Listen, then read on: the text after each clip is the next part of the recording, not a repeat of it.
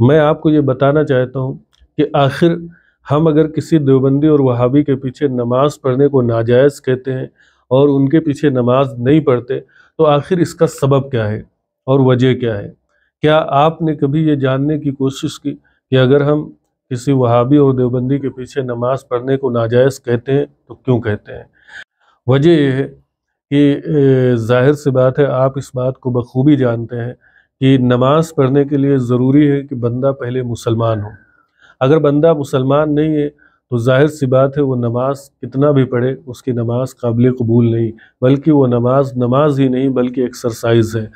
इसी तरीके से एक मुसलमान जब इमामत करेगा तो ज़ाहिर सी बात है हम उसके पीछे नमाज़ पढ़ने के लिए भी तैयार हो जाएँगे। क्योंकि जब वो मुसलमान होगा, तभी वो इमामत का मुस्तक होगा, इमामत के लायक होगा और जब उसकी खुद नमाज़ हो जाएगी तो हम भी उसके पीछे नमाज़ पढ़ने के काबिल होंगे। लेकिन वो बंदा जिसके ऐसे अकीदे हों, जो इस्लाम के मुखालिफ हों, जो शरीयत के मुखालिफ हों तो ऐसे इंसान को हम मुसलमान किस तरह मान सकते हैं?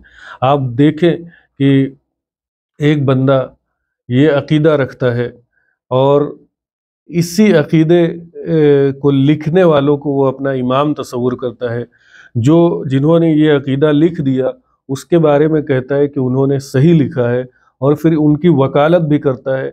उन्हीं का अपने आप को पैरोकार मानता है और आवाम के दरमियान उन्हीं को अपना इमाम तस्वूर कराता है।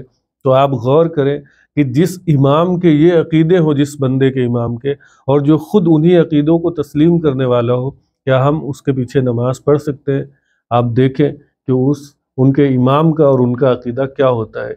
जिनको वो अपना इमाम तस्वुर करते हैं, कायद तस्वूर करते हैं, पेशवा तस्वुर करते हैं, रहनमा तस्वूर करते हैं, उन्होंने अपनी किताबों में जो अकायद लिखे हैं, जो बातें लिखी हैं, मैं आपके सामने चंद मिसालें पेश करता हूँ। उसके बाद आप खुद दिल से फैसला करें, आप खुद ये सोचें कि क्या ऐसे शख्स को हम इमाम बना सकते हैं, क्या उसके पीछे हमारी नमाज़ हो सकती है। आप देखें सबसे पहला अकीदा इनका ये कि जो है, इनके एक बहुत बड़े दानश्वर जिनको ये अपना रहनमा तस्वूर करते हैं और बहुत बड़ा कायद तस्वूर करते हैं, उस बंदे ने हुजूर सल्लल्लाहु अलैहि वसल्लम की ख़त्म नबूवत पर हमला करते हुए एक इबारत लिखी, जिसका मफहम ये है कि बिलफ़र्ज़ बाद ज़माने नबूई भी कोई नबी पैदा हो तो फिर भी हुजूर की ख़ातमियत में या लिखा उसने कि ख़ातमियत मोहम्मदी में कुछ फ़र्क नहीं आएगा। आप बताएँ, हुजूर सल्लल्लाहु अलैहि वसल्लम की ख़त्म नबूवत के मुतालिक जब अल्लाह रब्बुल ने कुरान मजीद में इरशाद फरमा दिया वला के रसूल अल्लाह व ख़ातमन नबीन कि और वो अल्लाह के रसूल हैं और आखिरी नबी हैं। अब जब कुरान जो कलाम है, वो अल्लाह का कलाम है उसको, उसके सामने ऐसी इबारतें पेश करना किस कदर इस्लाम की पैरवी हो सकती है और किस कदर ये इस्लामी शूर हो सकता है कि एक तरफ़ कुरान इस बात का ऐलान कर रहा हो कि अल्लाह के रसूल हुजूर सल्लल्लाहु अलैहि वसल्लम ख़ातमुन्नबीयीन है। आपके बाद कोई नबी नहीं आ सकता। अब बंदा ये कहे कि बिल फ़र्ज़ अगर कोई हुजूर के बाद नबी आ भी जाए तो आपके आखिरी नबी होने में कोई फ़र्क नहीं पड़ेगा।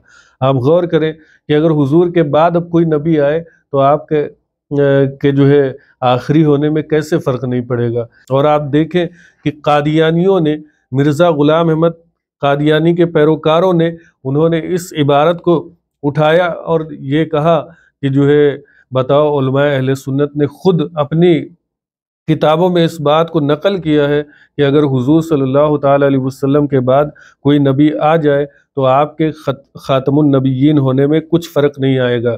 तो उनके कहने का मतलब ये था कि जब कुछ फ़र्क आएगा ही नहीं तो हमने यानी कि ख़त्म नबूत पे कोई हमला नहीं किया माज़ल्ला रब्बिल उसके बाद आप देखें कि इन्होंने हुजूर सल्लल्लाहु अलैहि के इल्म गैब पर डाका डालते हुए हुजूर सल्लल्लाहु अलैहि वसल्लम के इल्म गैब पर जो है हमला करते हुए किस कदर हुजूर सल्लल्लाहु अलैहि वसल्लम की तोहन की और आप सल्लल्लाहु अलैहि वसल्लम के इल्म गैब को जानवरों और पागलों और बच्चों के इल्म से माजल्ला तस्वीर दी। आप देखें कि अशरफ अली थानवी ने हिफ्जुल ईमान में लिखा, क्या लिखा? उसने लिखा कि हुजूर सल्लल्लाहु अलैहि वसल्लम का जो इल्म गैब है, इस गैब से मुराद बाज़ गैब है या कुल गैब है? अगर बाज़ गैबिया मुराद है तो इसमें हुजूर ही के क्या तखसीस? ऐसा इल्म गैब तो जैद अम्र, बल्कि हर सभी व मजनून, बल्कि जमी हैवानात बहायम के लिए भी हासिल है। यानी कहता है कि हुजूर सल्लल्लाहु अलैहि वसल्लम की इसमें क्या तखसीस है? ऐसा इल्म गैब तो माजल्ला रब्बिल बच्चों को, पागलों को और जानवरों को भी हासिल है। आप देखें, जो शख्स ऐसी इबारतें अपनी किताब में लिखे, फिर कोई बंदा इन ऐसे शख्स को अपना इमाम तस्वुर करे तो क्या हम उसके पीछे नमाज़ पढ़ने को जायज़ तस्वुर करेंगे? हुजूर सल्लल्लाहु अलैहि वसल्लम के इल्म गैब को टारगेट करे, आप सल्लल्लाहु अलैहि वसल्लम के इल्म गैब को जानवरों, पागलों और बच्चों के इल्म से तस्बीह दे, उनसे मुमासलत दे और फिर वो अपने आप को मुसलमान कहे, हम उसको अपना इमाम कैसे बना सकते हैं? उसके पीछे हम नमाज़ कैसे पढ़ सकते हैं? ऐसे शख्स के पीछे हरगिज़ हमारी नमाज़ नहीं हो सकती और हम ऐसे शख्स को अपना इमाम हरगिज़ नहीं बना सकते।